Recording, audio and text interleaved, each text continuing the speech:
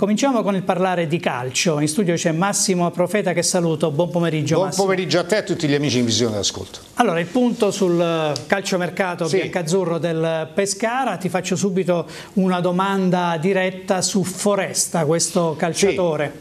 Guarda, se ne sta parlando da diversi giorni, un centrocampista che è, è- è graditissimo direi, molto gradito a Silvio Baldini, a proposito Silvio Baldini verrà presentato domani alle 18 all'EC Hotel di Città Sant'Angelo, ebbene insomma eh, Giovanni Foresta è un 95, no- 29 anni ancora eh, da compiere, ha militato nella Carrarese, quindi è stato alle dipendenze di Silvio Baldini per 4 anni, lo conosce benissimo, il tecnico eh, toscano. Ha fatto benissimo nelle ultime 3-4 stagioni, soltanto 30 presenze in varie società come Gelbison, Recanatese e Alessandra, l'ultima stagione appunto che abbiamo consegnato agli archivi. In questo momento c'è solo un contatto con il giocatore e con il suo eh, procuratore, vedremo, è uno dei tanti nomi in ballo, ce ne sono tanti altri, per esempio l'accordo, c'è un accordo eh, che è stato già raggiunto con due calciatori, sempre di gradimento dell'allenatore perché sono stati alle dipendenze di Baldini, ci riferiamo ad Andrea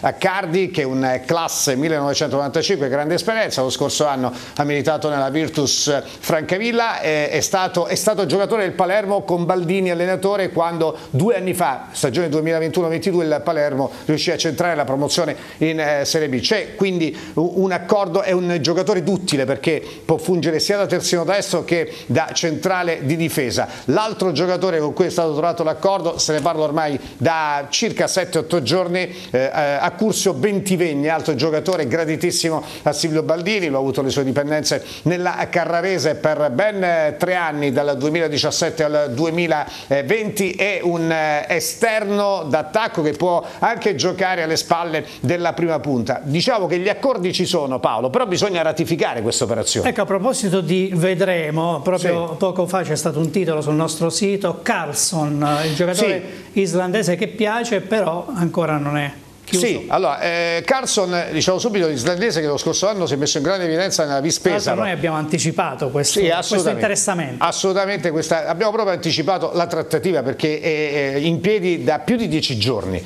Si è mosso con largo anticipo dell'Icari, ha parlato con eh, il pescarese eh, Pippo Antonelli, Filippo Antonelli, ex calciatore del Pescara e direttore sportivo del Venezia, perché questo ragazzo è di proprietà del Venezia, è un classe 97, 27 anni, eh, lo scorso anno benissimo alla Vispesaro con 10 gol. Il problema qual è? Il eh, giocatore non ha ancora deciso, ha preso tempo e quindi vedremo nei prossimi giorni, però è pronto un accordo eh, triennale, un contratto triennale.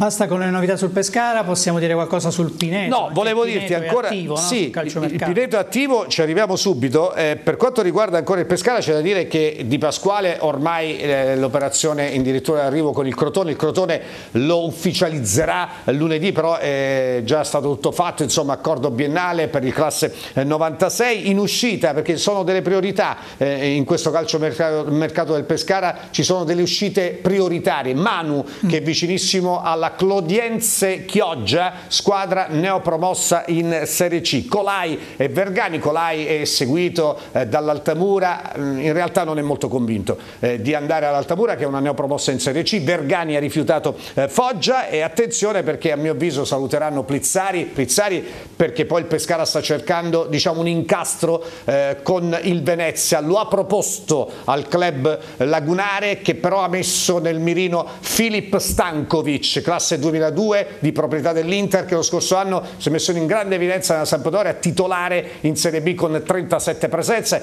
potrebbe anche andare a Venezia Plizzari, eh, però diciamo che l'obiettivo prioritario del Venezia è un altro giocatore, appunto Stankovic e poi a mio avviso andranno via sicuramente Merola, Squizzato e Tugnov. Quali invece le trattative Massimo del Pineto? Quello del Pineto, allora, il Pineto sta per, ehm, per ratificare un'altra operazione importante per l'attacco, perché in attacco si è mosso benissimo fino a questo momento Marcello Di Giuseppe, perché eh, intanto ha preso eh, del sole già da diversi giorni, da circa una settimana, e lo conosciamo benissimo perché è cresciuto nel Pescara, Mancino eh, parte da destra nel 4-3-3 che sarà disegnato dal neotecnico Mirko Cudini, Eh, eh, Fabrizi, altra punta molto interessante che ha fatto bene a Latina nelle ultime due stagioni, 17 7 gol, molti lo ricordano a Chieti, 16 reti in Serie D nella stagione 2020-21 e sta per mettere a segno un altro colpo importante, eh, Bruzzaniti che è un esterno d'attacco, eh, piede destro, parte da sinistra, classe 2000 di proprietà del Crotone, si può fare in prestito con diritto di riscatto e magari anche un obbligo di riscatto perché il ragazzo classe 2000, ripetiamo, è legato al Crotone da altri due anni di contratto. Perfetto, grazie, grazie a Massimo Profeta. E poi Giulio Dori, scusami, sì. Giulio, Dori, Giulio, Dori, per il Pineto, eh, Pineto eh, che sta facendo qualcosa anche a centrocampo, Giulio Dori a centrocampo in difesa, Giulio Dori è un esterno eh, basso che può giocare anche come quinto, ha fatto benissimo all'Aquila, classe 2004, prima eh, stagione, prima esperienza in Serie D, con tante presenze da titolare nella stagione che ci siamo lasciati agli archivi e di proprietà del Delfino Flaccoporto eh, e quindi potrebbe essere preso dal Pineto senza problemi, anzi l'operazione addirittura arrivo.